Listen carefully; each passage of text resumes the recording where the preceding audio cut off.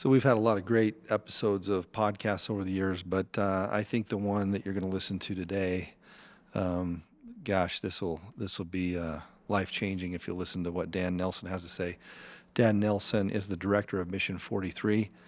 Uh, we talk a lot about that in this podcast. Um, he uh, graduated from Centennial High School.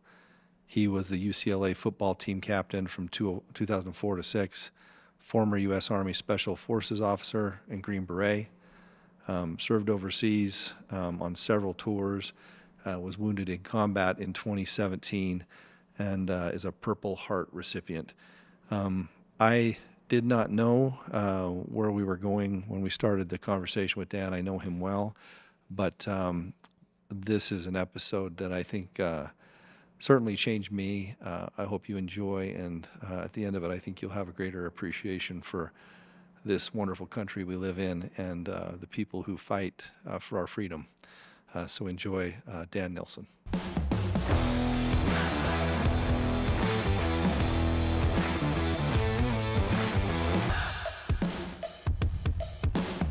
For those who don't know, uh, Dan Nelson, and I'll have a little intro before we, we get into this, but director of Mission 43. But but this Friday, I think I'm doing my fourth year. It is your fourth year, yeah, for our Leaders Fellowship. So you guys do a Leaders Fellowship. So you talk a little bit about it. You get how many how many cohort are in the cohort? We're finishing up. You'll be speaking to cohort five this year, and then we're already working on interviewing for cohort six. So it'll be the sixth year of the program coming up here soon. And tell tell us a little bit about the program, and then I'm going to tell you how I'm going to get back at you.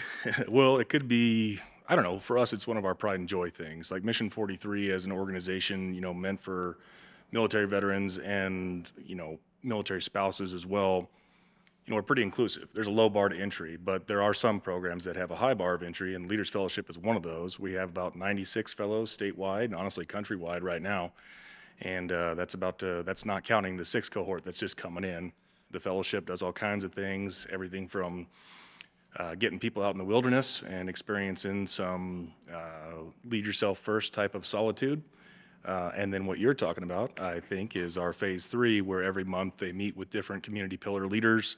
Uh, you being one of those for the past four years, and we come and grill you and ask all my stupid questions, and you have to talk to our group. So what happens is the very first time I did it, you're like, "Hey, come come do this for me." I'm like, "Hey, I'll do anything, whatever you need me to do." And I said, "How how you know what time do you want me to show up?" And you're like, "Hey, uh, you come at noon and you'll be done by five. Yeah. And I'm like, what are you talking about? But it's a it's a it's a like fireside chat. It's a fireside chat. Yeah, you're not just talking the whole time by no, yourself. Where you sit and it's really wonderful. I love it. It's one of the one of my favorite things to do. But anyway, that's Friday, and you're going to be asking me questions. So the timing of this is really good. Thank you're you. The closer this year, by the way. Oh, I am. You are. Yeah, we've had Muffy Davis, Lisa Grow, uh, Todd Lindsay, Bill Whitaker, Roger Quarles. We've had everybody there, and you're the closer this oh, year. Wow. No pressure. Nope, no, no. Um, thank you for coming on today. Oh, I'm honored to be here. I've known you for several years, mm-hmm. and um, I've known some of your story. I've heard the story told by others, but I think it's going to be super awesome today for our listeners. We have a pretty wide group of folks that listen to this, business leaders and community members, but I you must be doing a lot of these because you're scraping the bottom of the barrel for guests, obviously. We're sitting here now, but yeah. Whatever. whatever. So I want to I want to dig a little deeper because I've I've um, you know I know the work you do now, but you have an incredible story, Dan. Like a, a wild story. It's Forrest Gump, but not as entertaining, I think. Yeah. It is Forrest Gump. Actually, that's a great title for this, Maddie.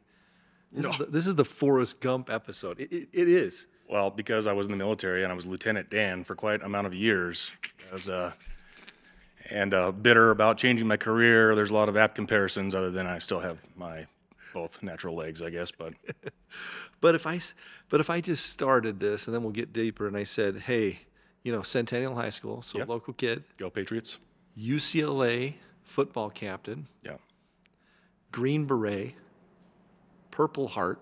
Mm-hmm. And then you went through some tough times, and now director of Mission 43. Yeah. It's a wild freaking ride. Uh, it's still still on the ride, right? It's not over yet, but yeah, it's been a been a road, something I couldn't have planned, right? But there's some opportunities like the one I'm in now that you cannot really plan for. I don't think. Like I don't think there's any training or specific education that would prepare someone to work for the J. and Kathryn Albertson Family Foundation, you know, in this role, leading Mission 43, their Veterans Initiative. I don't know if that, you know, I don't know if there's any degree or certificate in philanthropy or veteran services or community services that would prepare someone for that. I just feel very honored and lucky to do it. Let me let me. I'm going to start with the end and then have you rewind, and tell your story. So, Okay. this is what I know. So, um, Joe Scott. Um, so Joe is uh, um, the heir of the Albertsons family um, fortune. Um, he started the uh, J.K. Uh, family. It's fa- Family Foundation now, right? They changed the name a little bit. JCAF, yeah. JCAF, um, and they have done wonderful things for a long, long time. Yeah. But what I've heard, and I've heard it from a few sources, is that a lot of a lot of Joe's dollars went into trying to fix and help with education in Idaho, That's true.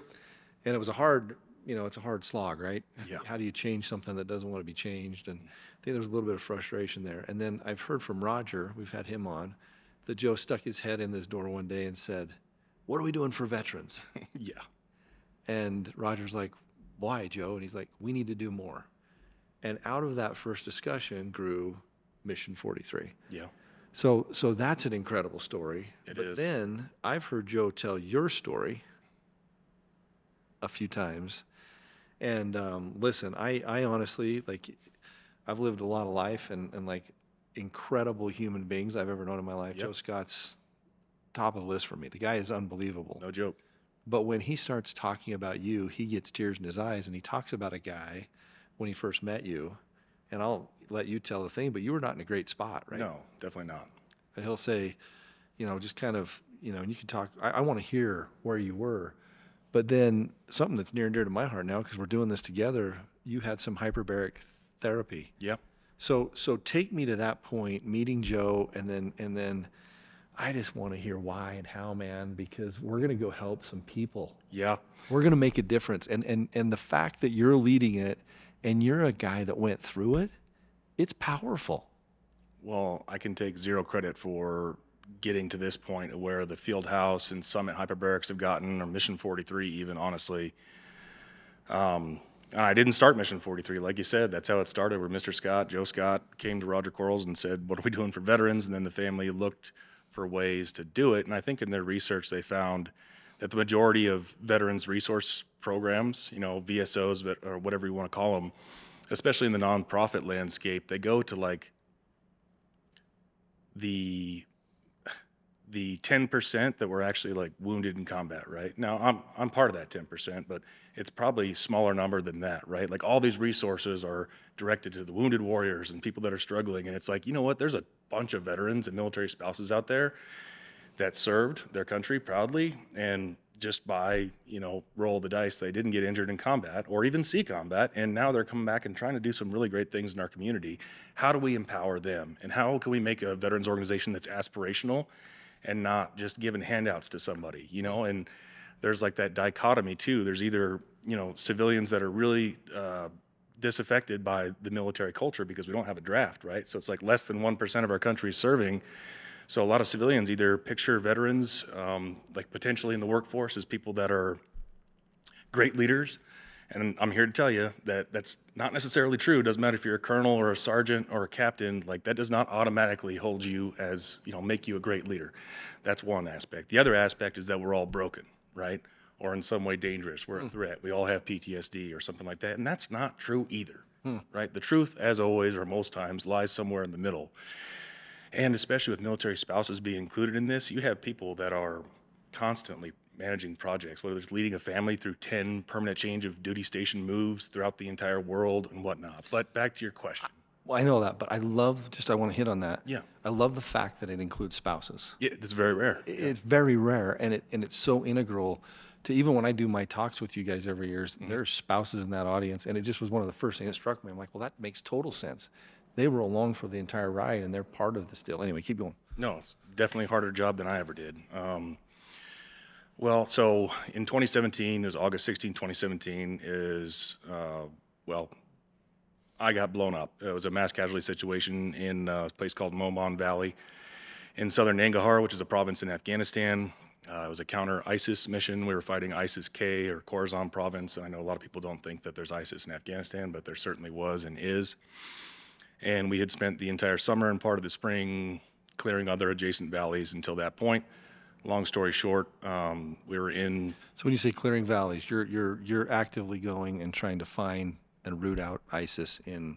that was my seventh deployment, and it was very unique because anyone that grew up in the GWOT or the Global War on Terror deploys and fights counterinsurgency. Okay. So you're you know, like you have to discriminate between civilians and bad guys, right? Well, this trip was different. Uh, civilians left these valleys because they were being tortured, um, because they were being brutalized by ISIS, and they had not been touched by any coalition forces in years. So ISIS-K had this unfettered access to this area, and these three valleys, uh, Pekka, Momond, and Kot Valley in particular, and uh, ISIS-K took over those groups or took over those valleys, and we, my team was tasked with clearing Pekka Valley, and we started in April, and we cleared it by June. My team and another uh, sister team did it together with a bunch of enablers and a lot of folks, um, and that was very kinetic. It wasn't my first rodeo, I guess, as far as combat deployments, but it was just a really unique situation. They call it force on force, where you're living there. You don't go in and out. There's not period of darkness missions, which is very common in my past of past deployments, where you'd go, you know, hit a target and then come home. The strike force thing. right. Right. This was different. Uh, it was very different, and um, yeah, there. Uh, when we had success in one valley, we were asked to do another valley, which was Momon Valley. We started about five in the morning local time there, and uh, we're in contact about 30 minutes after we started, and it was a constant firefight and rolling tick, or troops in contact as they call it, up until about 5 p.m. that night. Uh, there was one reinforced concrete structure. It actually was an abandoned mosque. Um, we needed to establish a RON site, which is a rest overnight site. And uh, that was my decision as the GFC, the ground force commander, um, to occupy that building. And uh, that's where we were going to create our first stronghold for the night before we started clearing further into the valley. Um, we were there for uh, almost 30 minutes, and then there was a massive explosion. And that explosion injured 31 Americans. It killed six Afghans and one uh, of my teammates named Aaron Butler. He was the youngest guy on my team. And um, that started a U shaped ambush where basically it was a trap, right? So they wanted us to go in that building. We did. And then uh, things kicked off from there. So it took uh, quite a bit of time. A lot of my guys were, um, uh, because of that and what they did both before uh, the explosion, during the explosion, and after the explosion that day, the you know, three of my guys were awarded the Silver Star, which is the third highest award for valor that our country can give. And then my Air Force CCT, Dan Keller, who's also an Idahoan, uh, was uh, awarded the Air Force Cross, which is uh, only below the Medal of Honor, and he deserves every bit of it, as do they. And uh, it was a tough one. So that wasn't the first time I'd had a TBI. It wasn't the first time um, been blown up um, or anything like that, but it was the last time, and ended up, um, you know, having me uh, medically evacuated from the country, and then I spent some time at Walter Reed, which is actually where my second son, um, my youngest son, was born. So, um, Before you go on, man, that's that's that's just heavy. yeah, It's not kind of you're not built to deal with that stuff all the time, right? I know you guys go through a lot of training, but how do you process one the responsibility and then two just you know we're all we're all humans and have this capacity mm-hmm. to love and care our you know and I can only imagine the brotherhood you have with those men that you're with there. Mm-hmm. Talk to us a little about that. I think brotherhood is something that's often talked about, and to me, it's extremely important. Uh, and it's honestly hard to explain, but if I could boil it down, it would be um, a responsibility. It's a weight where you're saying and believing to the core of your being that if we are brothers in this, like your well-being and safety is more important than my own. um, and that is a burden that you have to morally um, accept. And as the commander of that ODA or Special Forces detachment of that mission of that uh, ground force, as we're moving through, you know, I'm legally and morally obligated for all of their well-being, and uh, I've made at that point in my career a lot of decisions, and people had definitely, oh, yeah, well, people have been hurt because of my decisions, right?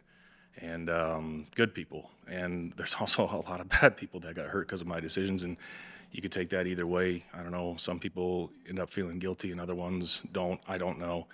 But what I do feel is the weight of soldiers that, um, of people whose lives are changed, and even the guys that didn't die, um, that are still alive, their lives have been forever altered. And particularly in that one instance, there's a lot of lives, a lot of careers that got ended. I don't mean fired in a bad way. I mean they're medically discharged because a lot of my guys got hurt um, and have struggled.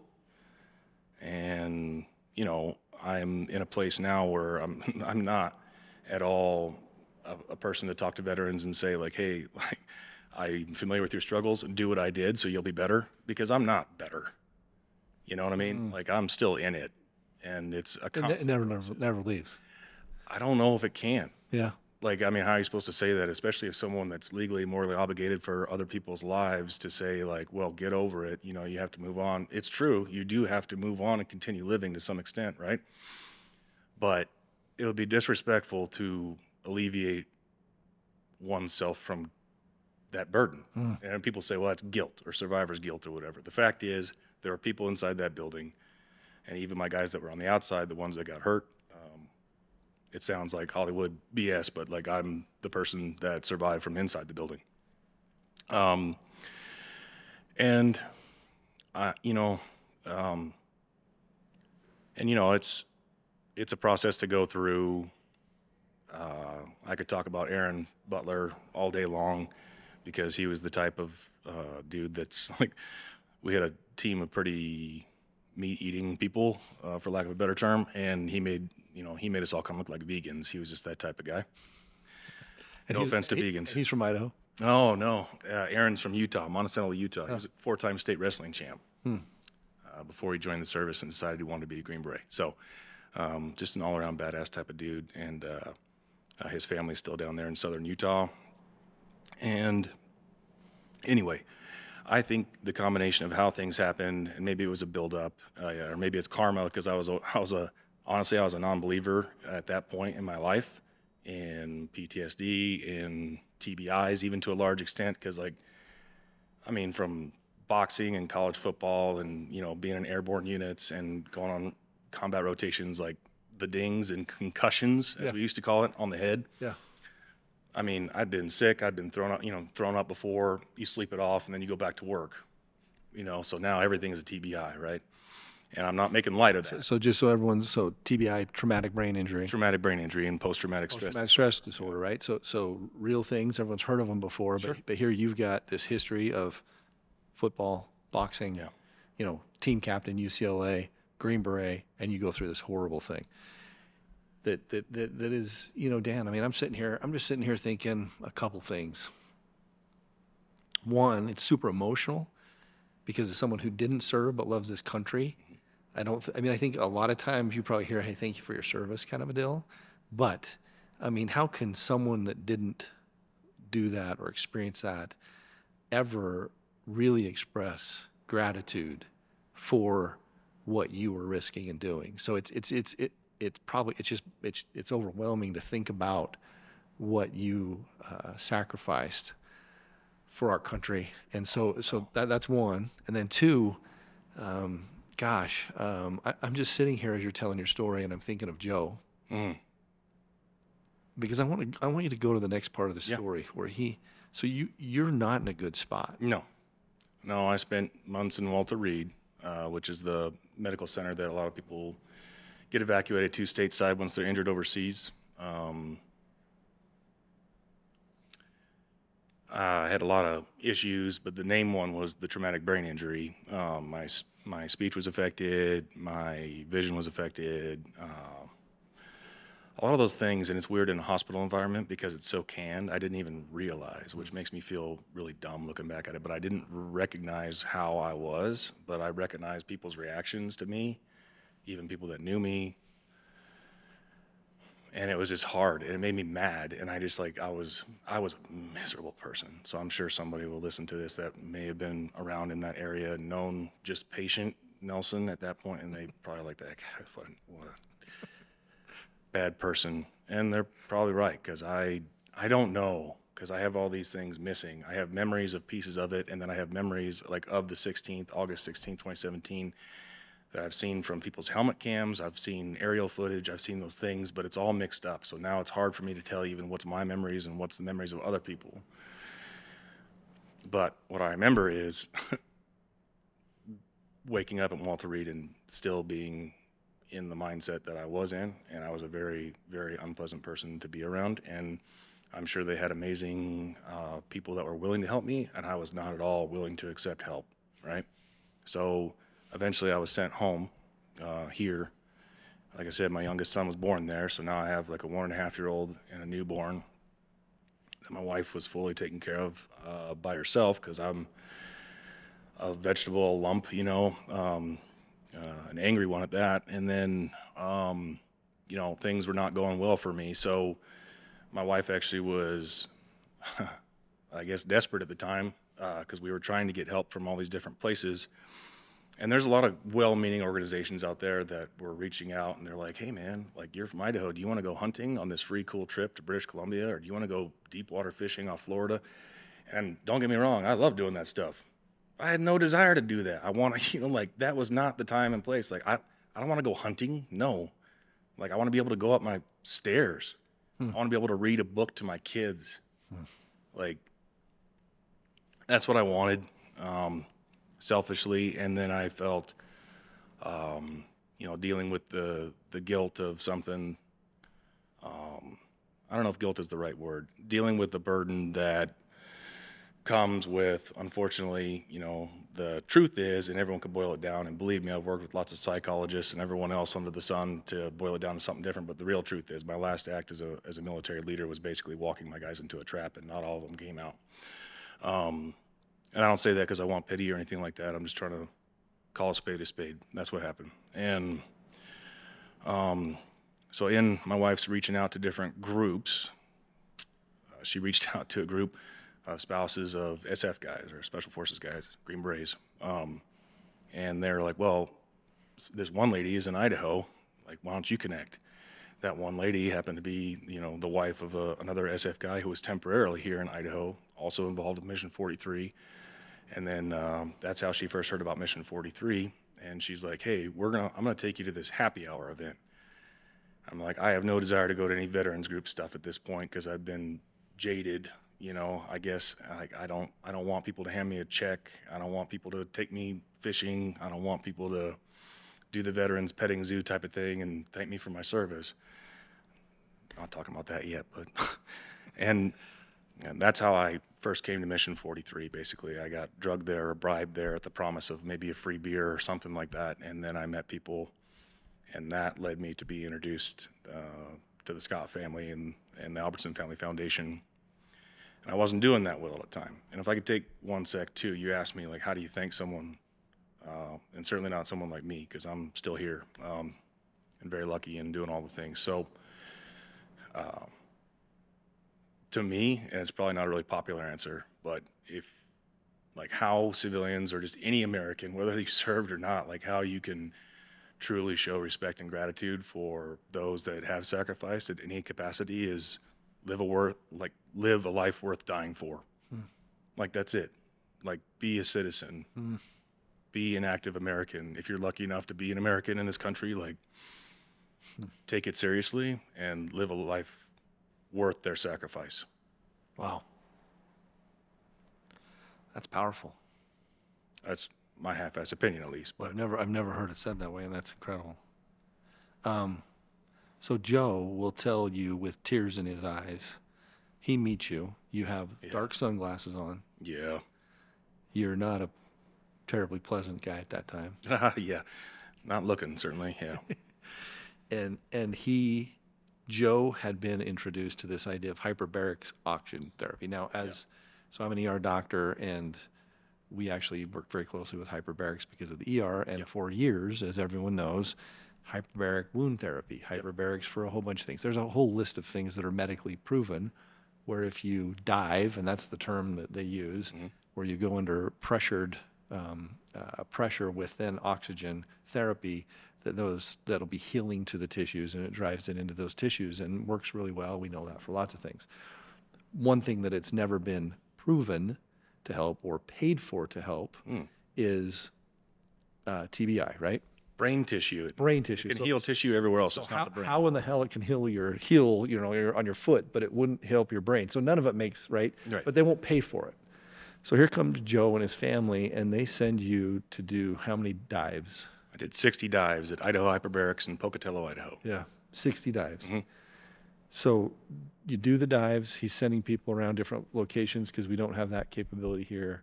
Well, at that time, that was not, I think it was just a desperation thing. I don't think they had any intent, at least to my knowledge, still, I don't think they had any intent of really deep diving or certainly investing in the way they have Yeah. into hyperbaric oxygen treatment or HBOT. Um, it was kind of a, a Hail Mary because I remember, you know, through Mission 43, the Albertson Foundation saying, like, well, what can we do for you?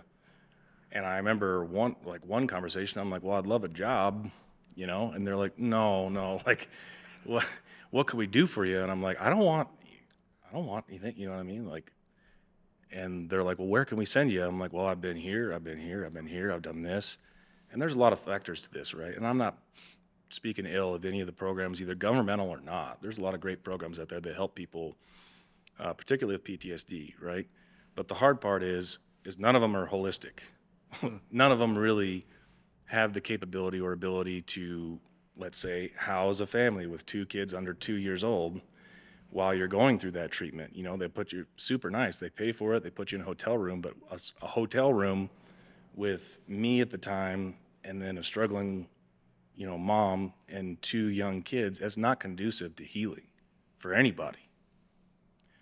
And those things just don't exist because they require resources and time and effort, right? And then also you have all these best and brightest, and you know, in your realm, the doctor realm, like a lot of those places, whether you know they're military hospitals and whatnot, you see a lot, and you see a lot quick. So it's like the young doctors that go there and build up the resume, and then they take off for some mm-hmm. greener pastures, right? So it's hard to find people that actually relate to the experience of trauma in general, right? Let alone a family that's been affected by trauma. And I think that's where, you know, for me, them saying, well, how about you go to Pocatello and do these, do HBOT? And I was like, great, another snake oil thing. Like I've had people hold crystals on me. So had you heard about it before then? Or- No. Like when they said HBOT, are you like, what? Yes, that's what I was like. And I was like, oh, I've been in a chamber before because, like, you know, military chambers for diving. Yeah. And a HAPS chamber for high altitude, Yeah. you know, um, operations, stuff like that. I've been in the chambers. I understand, like, what that is. And I also had, you know, I know they're for decompression, you know, when you have dive injuries, guys get in the tank. Um, but I just didn't see any correlation. And it just seemed like, well, this is an experimental thing, you know, like, we're trying it out. And uh, they, honestly, I, to tell you the truth, I'm not sure who did it, but it felt I'm 100% sure that somebody like organized this kind of information psyop campaign against me. So then all these guys start calling me from all over and all over my history, both in the military and otherwise, saying, "Just do it, man. Just go to the HBOT thing. Like, go do it." So I kind of gave in, and I was again a reluctant patient. And the first thing I noticed on my first day, because I had no idea what to expect, and I did two dives daily. So I did my two dives the first day, and the first thing I noticed was I slept. Huh. Like I slept, and that causes a whole other host of problems for me because sleeping, especially at that time, was not like a comfortable spot for me, um, mentally and emotionally. um, but I slept. I was tired. But so so immediately two dives, which makes sense, right? Yeah. So your your tissues, your brain is is having something happen that is that you know it's different and, and causing changes. But sleep was that because of the the unknowns of dreams and Yes, just dreams. your unconscious mind being Yeah. aware and and and that's that's that's heavy. it was it was hard, right? So again, what an amazing program down there. I love Je- Jeff who runs that program, Idaho Hyperbarics. He's a former salvage diver that like he's doing this on his own. Yeah. Like he's out there. He's in the the wild west of HBOT and he's doing it and people go there because he does it right and he cares about people, right? But this is not sanctioned by you know by any hospital, at least not when I went there. Um, and uh, so that experience of going through, and I, everyone has their what they call it the magic number of dives. I don't know exactly what magic number of dives. I could say there was improvement, but I remember at some point, probably in the third week, I know it was the third week, I suddenly got some motivation. Like, I'm like, okay, I'm I'm here. I'm away from my family. I'm housed there in this like little apartment they have me in. I'm just doing two dives a day, morning and afternoon, morning and afternoon, morning and afternoon. I'm like, I got to do something. So even though physically I was not, uh, you know, uh, a high performing state at all, I'm like, I'm gonna hike. I'm gonna go do these City Creek trails, and so I do that. And I basically, some reason, my mood started to shift, and it was like, and the reason is HBOT. But at that time, I'm like, okay, well, I'm feeling this motivation from somewhere. I'm gonna start doing this. You know what? I'm gonna go fishing on Monday, Wednesdays, and Fridays. Which now I'm like, damn, that'd be nice, right? but at that time, that was a big deal for me. And then I remember when I first did it, um, it was very frustrating because my vision was and my dexterity were really affected in the blast. And um, I remember the exact moment. I have a picture on it of it on my phone. Uh, I was on the Portneuf River near Soda Springs where I drove to, and it was snow everywhere, and there's a creek. And it was the first time I could legitimately tie a fly onto my leader, onto my tippet there. And that, I don't think a doctor in the world would ever give a crap about that. That is not anyone's end goal. Um, it wasn't one thing that I even asked for in the PT and the OT and the speech therapy and the vestibular therapy. I never thought about being able to tie my a fly back onto tippet, but that was the moment that I like the first moment since August 16th, 2017 that I actually had hope. And uh, you know, I sat in the snow and cried in the middle of nowhere by myself. I took a picture and I I was like, okay, like it wasn't the silver bullet. It didn't fix everything, but it gave me opportunity when I came back home and places like the Boise VA and all these UCLA too, like they it gave me an opportunity to work on all these therapies and feel good about it. You know what I mean? Like I was actually seeing improvement, whereas before it was just like bang my head against the wall. Talk to me about hope. As a physician, I um, whether listen, we're talking. This is heavy stuff, and you know, big long time thing to get over, and but but but there are patients that suffer from different things, hmm Sure. And a, a source of hope um, for you, it was a realization that hey, I I could get better. Yeah. What did it feel like? Where did you know? Where did it come from? Talk talk to me a little bit more about that. I'm looking up a. I love I love a poem about hope, but keep going. I think it felt it felt like a release, I guess. It felt like a, a moment where I could actually you know, when you're looking through like a set of binos or a spotting scope and then you look up. That's what it felt like. Like you gain perspective because you can see everything Huh. that's in the tube and then all of a sudden it was like, holy shit, like the world is still here. I'm still in it. I'm able to do this. Like, who cares about the fishing or the fly or whatever? It was just one instant that was like, oh my God, like there's improvement that's possible, right? So it's like instant perspective. Like, okay, like, okay, I'm here now. So I have to figure things out. Wow. And like I said, I am not in a place where I can say I figured things out, but compared to that place, like, it was life saving. So listen to this. So this is Emily Dickinson. All right. Um, but it, it goes like this Hope is the thing with feathers that perches in the soul and sings the tune without the words and never stops at all. And sweetest in the gale is heard, and sore must be the storm that keep that could abash that little bird that keeps so many warm. I've heard it in the chillest land and on the strangest sea, yet never in extremity has it asked a crumb of me.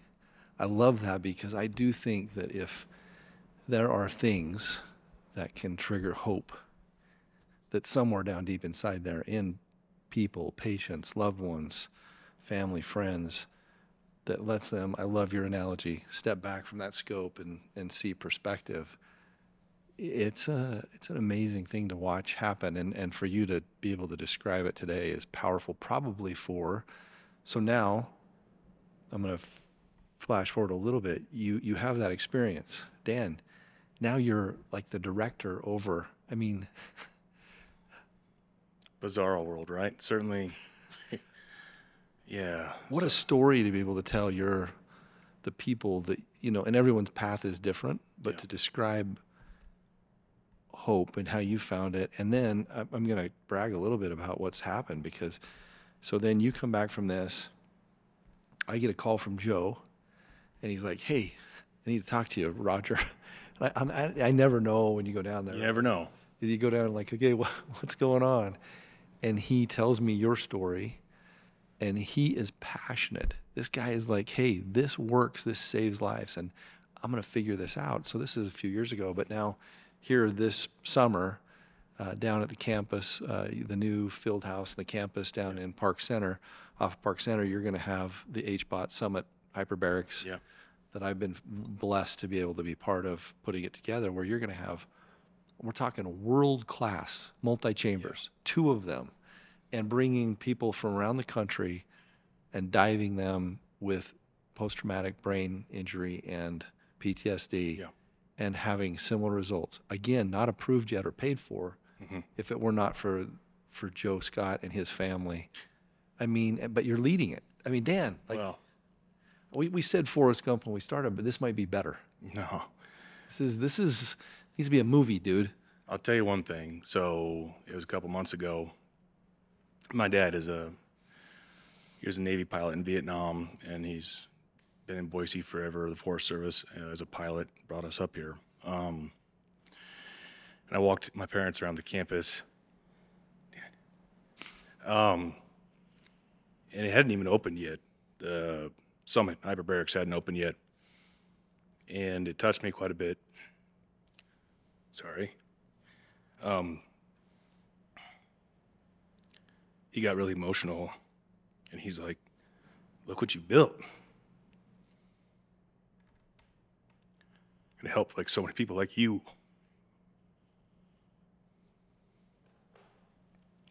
And, you know, like, Dad, it's not my money. It's not my, I didn't do shit. I didn't build this, you know. And, uh,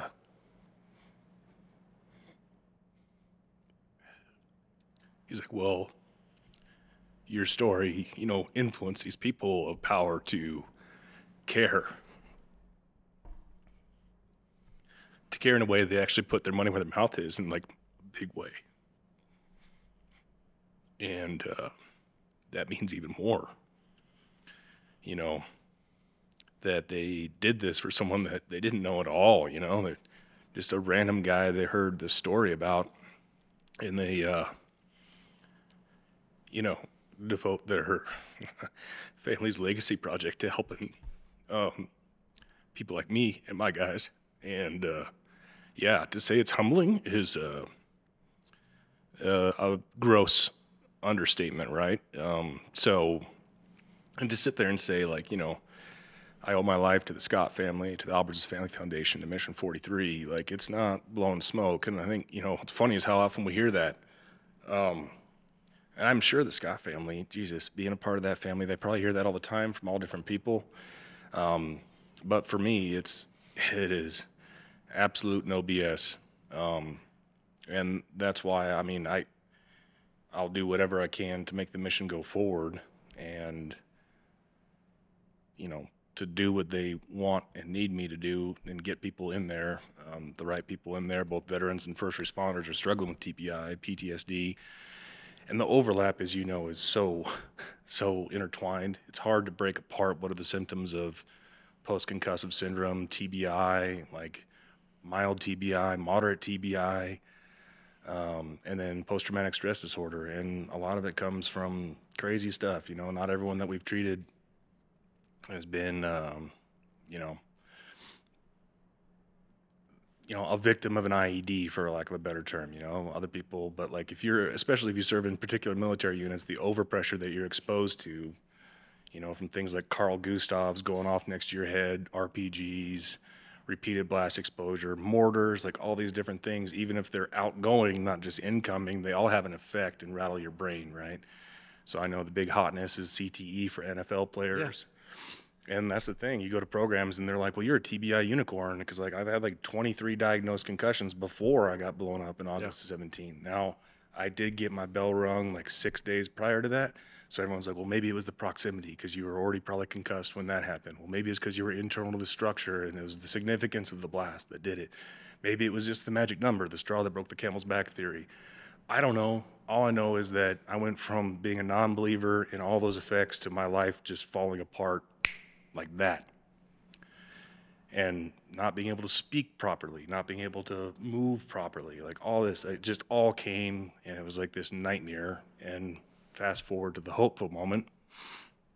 And like I said, not a silver bullet, but um, an opportunity to improve, right? And it's a constant process, and God knows, you know, dealing with that stuff, uh, many people, including me, self medicate, right? So then we self medicate with opioids, we self medicate with alcohol, all these different things to different degrees. And we have all these partner programs to, to send people with. And like the, two, the guy running it now, Brad Blair, is the first person that I put through. He's been through all of them. Hmm. So have I. Like Warriors Heart in Texas, it's premier substance abuse facility that's only for first responders and veterans. We send people there, right? And it's because JCAF pays for it. And it's because they pay for guys to run Mission 43. The guy, men and women that run Mission 43 have all been there and done that. Not one of us did not serve in some capacity. Hmm. So they find the right people, they empower us with time and resources to do the right work and send the right people to the right programs through partnerships. And with Summit having our own hyperbaric facility, the best in, in the world, Best in the world. certainly in the country, if not the world, right? To be able to treat people is remarkable. And I think we're just like sitting on this gem. Like everyone that you have here, all your amazing guests that I watch in, that come through here, like no one knows. Yeah. No one knows yet. No one knows yet. Yeah. Um, yeah. And again, opening this summer. Uh, I, I, I can't wait. I, I, I get to work there.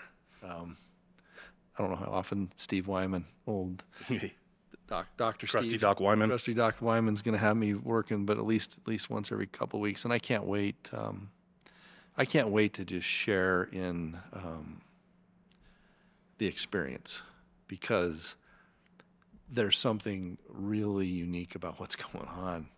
It's it's powerful, um, and and the, what's been frustrating from the medical side, is, as Steve Wyman and I have really mm-hmm. kind of dug in to try to get Summit set up, is is I I do believe people know it works. Yeah. no one no one wants to pay for it. And i think that's where joe and the passion's going to go is hey our goal and, and one of the things that he's been true to right from the beginning is i said hey joe do you want to have this facility be able to take other off-label things? Sure. because there's hyperbarics that people need for lots of things. And he's like absolutely not we are mission driven and we're taking care of vets first and we're going to prove that this thing works and and i think i think he and, and all of us involved are not going to sleep until this becomes uh, a reimbursable you know treatment Yeah. that's going to save you know and then all these other places around the, the country can get the service to these people that need it so badly so You're talking about the medical research component of this, which obviously Mr. Scott and everyone's very, very involved in, you as well. Um, you're trying to fight against like the lack of a better term, medical industrial complex that, I mean, I was prescribed many a pill in my Yeah. day. I went through many a program, you know. So I think with traumatic brain injury in particular, there's some incentive there to keep people as patients, right? And I, what I love about yes, perverse incentives, right? And and what I love about what he's doing is not only has he built this world class facility, and, and when I say world class, I don't think there's anything like in the world with how it's set up, but it does have all the cognitive evaluations it'll have in pre and post, again, to to gain the data to then be used to hopefully help, you know, this this becomes the the thing that then allows more people to be helped. Um, gosh, I, I'm just I hadn't ever heard the story till today. Well, sorry for crying on your thing here. Are you kidding me, Dan? I'm just I, don't know if it could be more meaningful than I don't know I don't know I don't know that there's anything else we can do in life that's more important than what we're doing, uh, which is helping people uh, like you're doing. And I, I just can't even imagine. I'm, I just I'm I'm I'm processing your parents and your father as a veteran walking that campus with you. Tell, so you've got the, the hyperbarics building, but then the, the clubhouse, I mean, the field house. Talk about that facility. It's, it's, it's just mind blowing. Well, what's mind blowing is that, you know, JCAF, they invited in all these adaptive athletes. They invited in my wife. They invited in all these other veterans like me that had similar experiences. And they're like, well, what do we do and what do we not do? You know, and it's like the whole campus is designed, like I said earlier, like a lot of the great programs, they're beautiful. They have lots of fancy buildings and stuff. But if you fill it up with people who don't understand, that's problem one. Problem two is if it's not designed for the whole family. And I mean, like, recovery is not an individual sport. Like, your family is going through all this too. You know, if you're in a spot like I was, man, I'm still dealing with the ramifications. My family is still dealing with ramifications of me at that time and me still, basically from that trauma, right? So you you need to have things in place to keep them safe, comfortable, engaged, you know?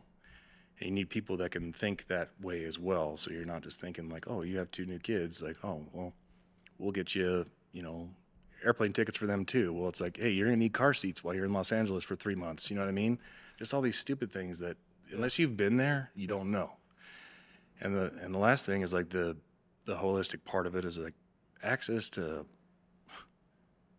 I hate to say recreation, but physical activity, right? So like the field house has, you know, a lot of it. Some people you look at it and like, oh, it's a gym. And then you look at other parts of it and it's like, oh, it's a commercial kitchen and a restaurant, or it's a beautiful meeting and event space. And it's like, ah, no, no, no, but yes to all three. You know, there's lodging on site that's, you know, modular, so we can house a family by itself. They have their own private space with multiple rooms, or we can house a bunch of people. You know, if like a, a Paralympic hockey team comes in, you know, like stuff like that, we could house them like teams like to be housed. You know, um, there's a lot of options, and we don't even know. And I know you probably heard that a million times. We don't know everything that the field house is going to entail, but we do know, you know, the spirit behind it and the people behind it. So I guarantee you, it's going to be good. It's it's it's unbelievable. It, it it's uh, I the only other thing I'm sitting here thinking about when I'm talking to you because, um, you know, I, I I tell people that we had Brian on and I told him this, so I took care of Joe's grandma. Yeah. So when I first came to town, I was an ER doc. I did all night shifts, and for whatever reason, I had the luck of taking care of her, the f- good fortune of taking care of her multiple times and spent a lot of time with her and her doctor, which who was J.W. Smith. He was a cardiologist here in town, but one of the- just if if you think about the country doc who would be there the second you needed him, that was him. And so sitting in a room with her and him and and I think about legacy um, and and you know what the Albertsons family means to Idaho and and you think about what happened in the story and and all of that. But then I, I think I, I go to Joe, you know, and, and, and his family, um, Jamie and, and Brian, um, they don't have to do this. No. I They don't have to do this. I ask myself why they come into work every day. I mean, honestly, they could do whatever they want, and not only do they just offer opportunities that don't exist in other communities. I grew up here. Like I walk by their building all the time, not ever knowing who was inside of it because they never draw attention to themselves. It's, it's so quiet. I use the whitewater park that they gave us. My kids are on the pump track Yeah. at the bike park, road skate park, all these things. I had no idea who was behind it. I had no idea. Well, I'm just sitting here thinking of how proud Joe's grandma would be if she could if she could have a glimpse into your story and what you've said today. And then, Dan, listen, like over the next hopefully 20 years together, whatever it is, buddy, as we watch people come through that field house and they come partake of the hyperbaric treatment there and they, they experience hope and they leave, um, you know, healed with hope and, and gosh, it's overwhelming. Um, it's just a blessing to be a part of it. Um, thank you so much. No, thank you for having me, Tom. I appreciate it. And then uh, I get to see you Friday, and the role reversed, right? You'll be asking the questions. I'll be there. I love you, man. Love you Uh, too. Thanks, Tommy. And I guess the only thing I'll say when I leave, I'll, um, I love this idea of live a life as an American worth dying for. Wow. What a gift. Thanks, man. Love you. Thanks. Appreciate it.